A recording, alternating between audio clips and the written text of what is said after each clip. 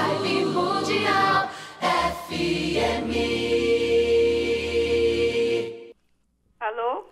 Oi, boa tarde. Boa tarde. Com quem eu falo? Maria. Maria, como eu posso te ajudar hoje, Maria? Ah, eu queria saber se o que eu faço aqui se é espiritual ou se é material mesmo, porque é uma, é uma perturbação Entendo. terrível. Já Qual é a sua data de fazer. nascimento? É 14 de 4 de 1952. Então a gente vai ver aqui se o que você está passando é espiritual ou se é- são coisas, dificuldades do seu caminho mesmo, né? Sim. Vamos ver aqui um minutinho. Para Maria.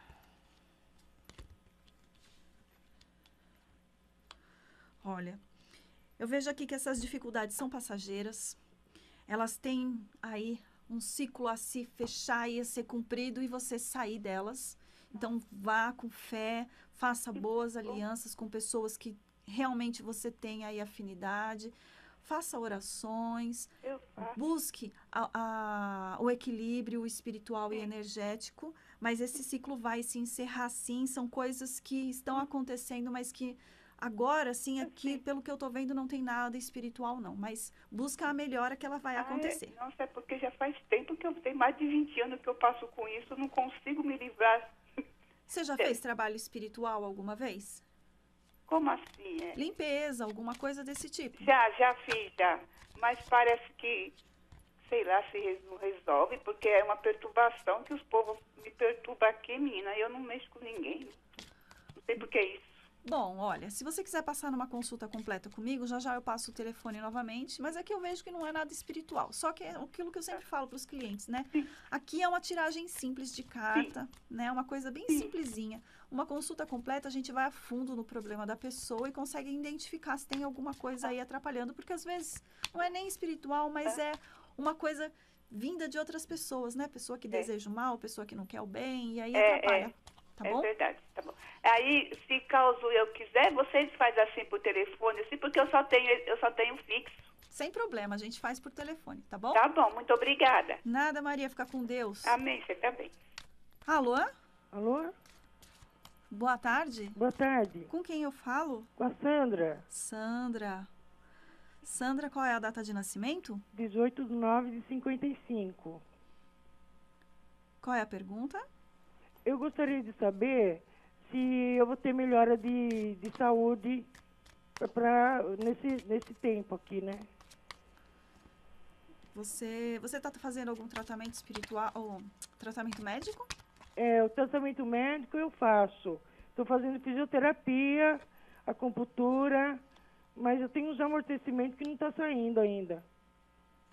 E eu gostaria de saber da parte espiritual também. Olha, eu vejo aqui assim, melhora, mas não a melhora que você espera. Vejo algumas dificuldades e eu vejo que você precisa procurar a espiritualidade para se ajudar, tá? Então assim, você precisa procurar alguma coisa para estar ajudando você a tirar algumas energias que estão densas, que está muito densa, muito pesada em cima de você e que está tá atrapalhando você um pouquinho aí, tá? Então, o ideal é você procurar uma ajuda espiritual, tá bom? Tá bom, você disse tomar um passo, essas coisas? Sim, Ah, tá bom. tá bom? Tá, obrigada, Daniela. Nada, fica com Deus. Bom, eu vou responder agora aqui no Instagram. A Eliana. Ah, aqui não dá. El- Eliana, você, você vai ter que mandar de novo aqui, porque aqui eu não consegui entender. Aqui a Marzinete, 25 do 3 de 69, ela gostaria de saber se ela vai conseguir um trabalho ainda. Vamos ver aqui se você consegue esse trabalho.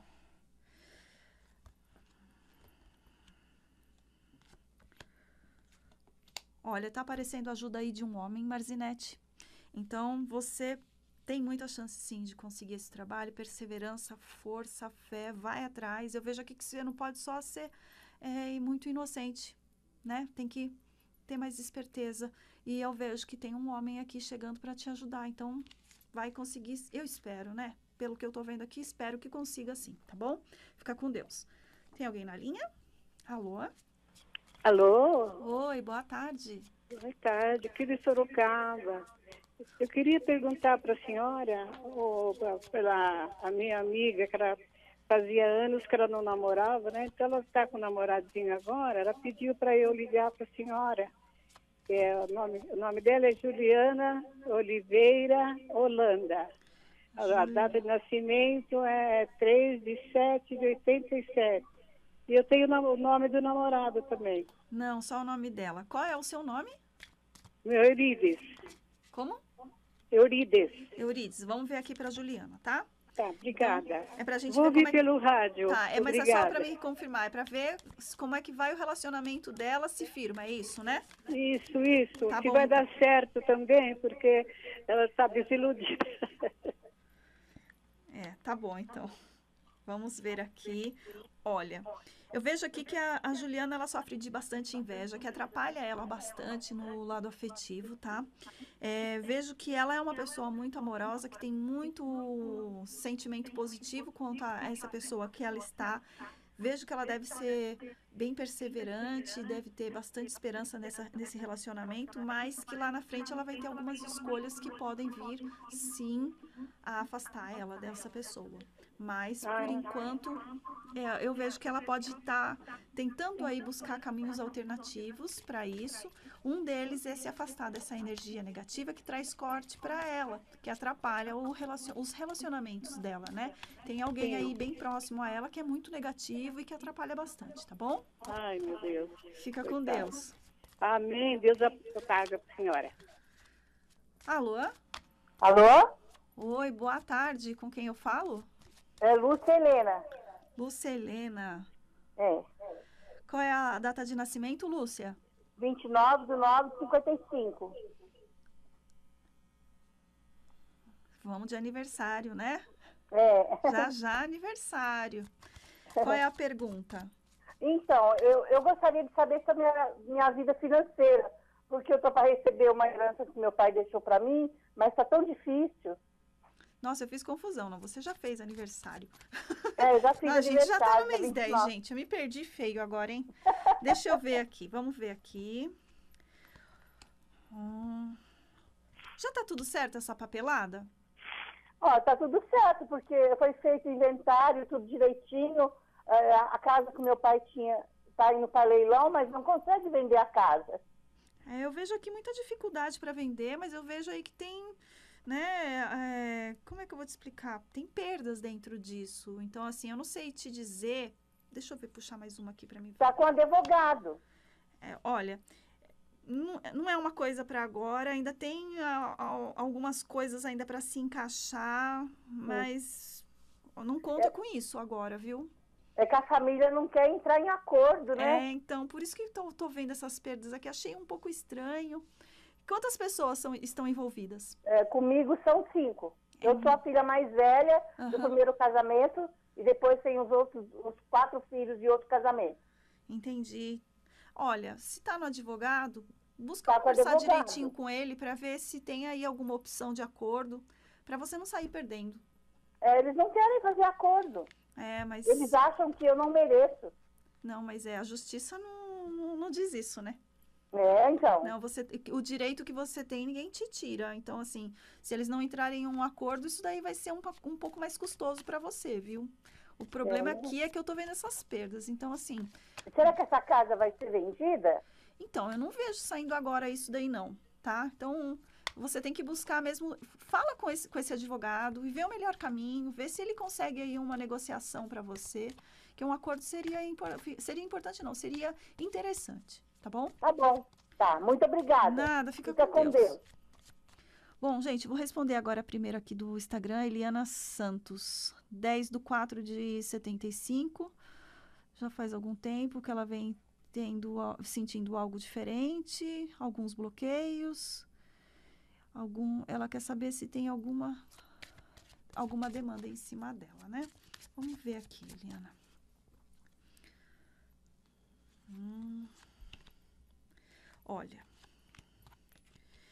eu vejo, eu vejo aqui que você vai ter mudança dentro de um período curto, tá?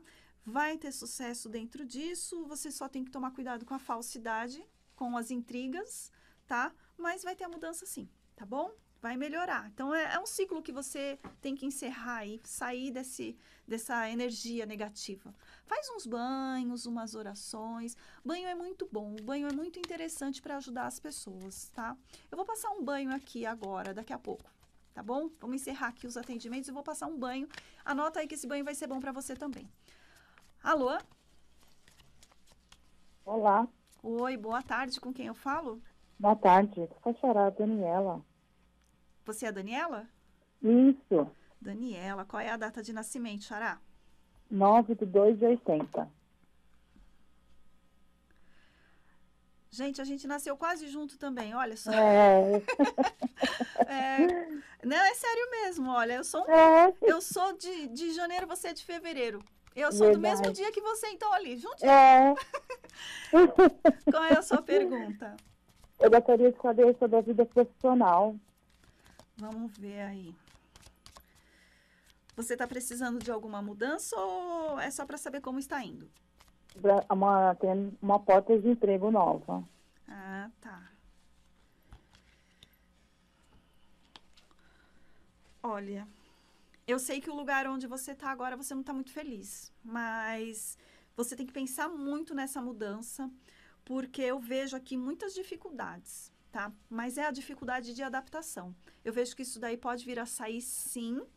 É uma novidade boa, mas que você tem que tem que ter ali um pensa bem antes de tomar atitude. Vamos colocar assim, tem que ter um meio termo para tudo. Se for realmente aquilo que você está esperando, vai, mas vai com sabedoria de que você vai encontrar bastante dificuldade, tá bom? Tá bom, então. Obrigada. Nada, fica com Deus. Eu também. Bom, gente, é o seguinte. Eu vou passar um banho aqui para vocês que me deu aqui a luz de passar esse banho, de repente, tá? É um banho simples, mas é um banho muito interessante, tá? Eu- é um banho que eu gosto muito de usar, tá bom? É, eu vou passar ele. é, eu- geralmente tem. Às vezes eu faço ele mais elaborado, depende muito do. Da, às vezes mais elaborado, às vezes menos. No caso aqui para vocês, eu vou passar uma coisa mais simples para vocês poderem fazer de uma forma é, fácil, tá? É, esse banho, o que, que vocês vão precisar? Vocês vão precisar um, dois litros de água, um litro e meio de água é o suficiente. Vão precisar de 300 ml de cachaça ou pinga. Vão precisar de um pedaço de fumo de rolo, tá? Como que prepara esse banho? Ele é super simples de preparar. Ferveu a água, coloca o fumo de rolo despedaçado, o máximo que você conseguir despedaçar ele, em infusão. Depois que tiver pronto, você vai misturar a cachaça ou a pinga e aí usar ele. Você pode coar para usar, mas eu prefiro que não coe, tá? É, é- eu- da minha preferência, sempre deixar as ervinhas, as folhinhas cair no corpo, depois junta, tá bom? Esse banho é, é um banho que pode ser, que ele é muito bom de ser feito de dia de quarta-feira ou de sexta-feira, tá? É, não pode ser enxaguado, então você faz o seu banho de higiene e depois do banho de higiene você joga, mas não pode jogar água, tá? Você vai ter que se secar com ele, no, deixar ele secar no corpo, tá? E aí você pode ir dormir, que é o ideal. Nunca depois de um banho energético, de limpeza, de descarrego, tenha contato com outras pessoas, porque aí vai ficar melhor, tá bom? Bom, gente, nosso programa de hoje acabou. É, quem quiser estar falando comigo, o telefone é 29 73 3793 2973 3793 ou celular 11 9 5797 6301 se inscreve lá no meu Instagram, ativa o sininho de notificação. Daniela Vidente. Obrigada. Até semana que vem. Fiquem com Deus. Vibe Mundial 95 FM 7.